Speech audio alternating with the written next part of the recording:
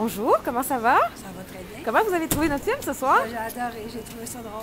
Qu'est-ce que vous avez euh, le plus aimé? Oh, c'est dur à dire. Non, tout aimé. Vous avez tout aimé? Ah oui, c'était bon. Bonjour! Comment vous avez trouvé notre film, monsieur, ce soir? Excellent. Excellent. Ah, Qu'est-ce ils qui, sont vraiment bons.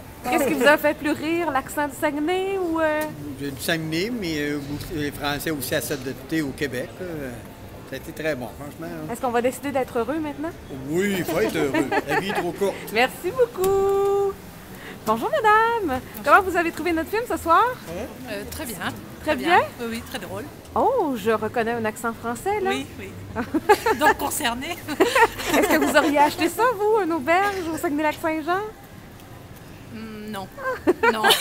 On vous aurait découragé plus vite que dans le film? Je sais pas. Mais je viens de la campagne, donc euh, je, je crois pas que je serai allée. euh, Bon, ben merci beaucoup. Je vous souhaite une belle journée.